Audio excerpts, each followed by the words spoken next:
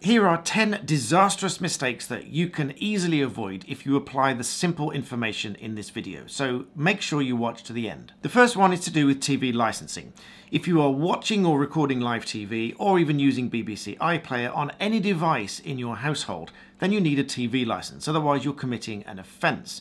But the only way that they could prove that you are doing this is to have some kind of evidence. The only way they're going to get that evidence is by coming into your property.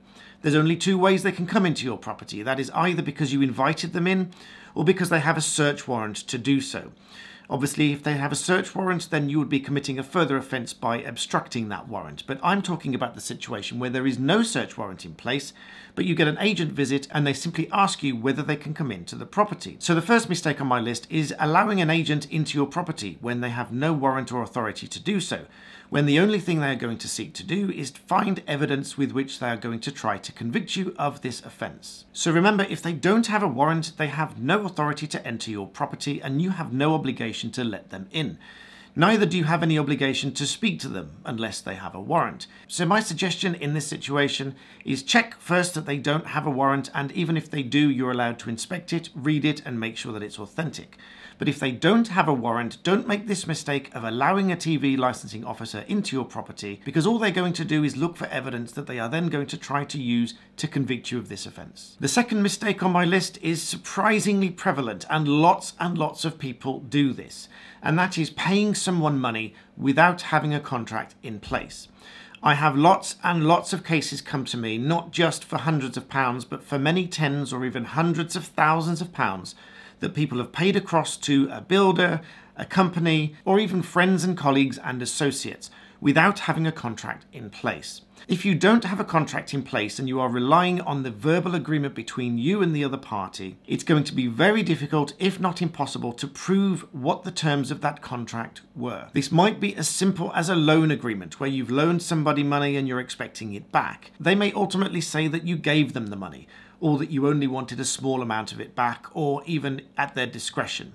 If there's no written terms as to what the agreement was, this is going to be difficult to prove. Equally, if you have a builder coming to do work on your house, think about what the building work is going to entail. They might be taking the roof off, they might be taking walls down. But all of this work is going to do a lot of damage to your property if it's not finished, because if it's not finished work, then it's damage to your property. You certainly wouldn't give somebody twenty or thirty thousand pounds to damage your property. But if you don't have a contract in place and they only do half the work and you've given them the money already, then essentially you've given them money to damage your property and it's going to be very difficult to prove exactly what they agreed to do without having a contract in place. So this mistake, I urge all of you watching, please, please do not ever give anybody money, certainly not large amounts of money, without having a fully drawn up contract, ideally by a lawyer, so that you know exactly what you are getting for the money, the timescales, the penalties, the obligations on the parties, so that it's not all left to guesswork for you to try to piece together for the court to make a judgment on later on. In a similar vein to making purchases, my next mistake for you to avoid is putting someone else's purchase in your name. This very often comes about because someone else may not be able to get the credit to buy, let's say, a car or even a house or something else. But you allow them to use your name to borrow the money, but then the item goes in their name. Essentially, you are putting the purchase in your name for somebody else. Because the ownership of that item is not necessarily with the person that stumped up the money. If it's in a person's name, but the finance is taken out by somebody else, then you may well struggle to get the money back in the event that they fail or refuse to pay you back. This is particularly prevalent in unmarried couples where they share finances and ultimately one agrees that the finance is going to go in their name for, let's say, the family car, but then the couple split up what happens to the car and what happens to the finance. If you don't have a written agreement in place, like I said in my second mistake, and you've put the finance in your name, which is my third mistake, this is a recipe for disaster. The next mistake on my list is when there's been a dispute and there's been a claim filed in court. Many people will simply ignore the claim. It's not a nice thing to have to deal with a claim against you, but ignoring it can make things far worse. For example, when a claim is served on you, you have a limited amount of time to either acknowledge the claim or file a defence for the claim. If you file the acknowledgement of service as it's known within 14 days, you get an additional 14 days within which to file a defence. but you must file a defence within that maximum of 28 days. If you fail to do so and you've simply ignored it, not only will the claimant be able to obtain a judgment against you without there even being a hearing, but it may be very difficult for you to then set that aside later, which then would give you a chance to defend it, because you'll need very good reasons to be able to set it aside, and ignoring it is not one of those reasons. If, for example, it was served at the wrong address and it wasn't your last known address, and there's various other technicalities that mean you can set aside the judgment, you may stand a chance of defending it later. But in the ordinary course of things, if you simply ignore the claim against you, you're likely to end up with a judgment against you, which is often referred to as a CCJ, which is a county court judgment, which can make it more difficult to get credit. And indeed, there might be enforcement action against you, which might take the form of going to your employer to take a deduction from your earnings to pay it to the judgment creditor before your employer pays you. There might be a third party debt order against your bank if the claimant knows your bank details, and then the court will order, most likely the bank, to pay that amount of money to the judgment creditor. If it's a large amount of money, you may even end up with a charging order against your property so the judgment creditor can secure the amount of money against your house. And in the worst scenarios, they can obtain an order for sale to force you to sell that house in order to settle the debt all of which can hopefully be avoided if you simply avoid the mistake of ignoring the claim in the first place. The next huge mistake that we see clients make is when somebody takes penalty points on their driving license for a spouse, a friend, a family member, or even a colleague or associate. This is very much worse than just having the points on your license. This actually amounts to perverting the course of justice and can result in a significant prison sentence.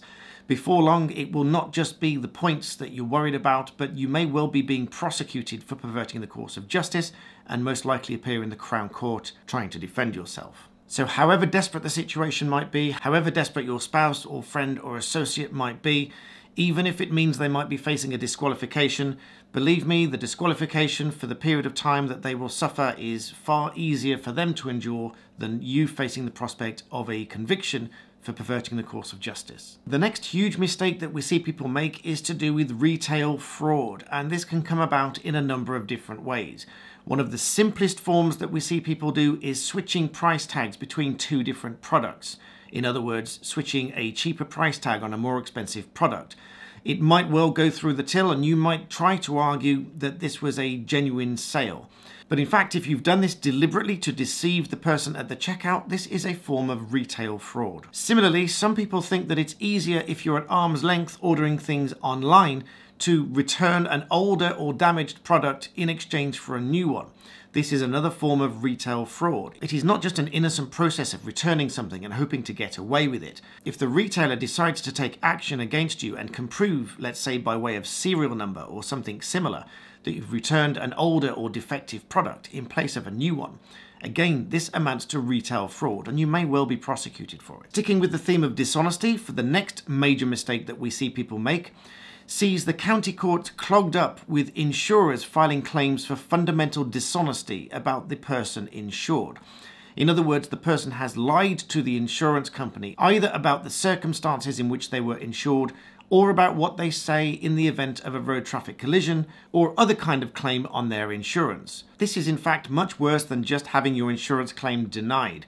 In fact, if you end up with a fundamental dishonesty tag against your name by the insurer, you are very likely to be refused insurance in the future, meaning you will not be able to get house insurance or car insurance, which will obviously have an effect on your ability to drive because you are not permitted to drive a motor vehicle without, at a minimum, third party insurance. If you are able to get insurance with a fundamental dishonesty tag against your name, it's likely to be much more expensive or because you were dishonest in the insurance claim or about what you told the insurer in the first place. So to avoid this mistake, please always be honest with your insurer, both when you're taking out the insurance policy and when you're making a claim or you've got a claim made against you. Whilst the rules have changed somewhat about what you are to disclose to your insurance company, broadly speaking, it's often limited to the questions that your company insurance asks you, you do need to be honest about answering those questions. Another form of fraud, which doesn't seem like fraud to those people doing it, is fraudulent chargebacks on a credit card or debit card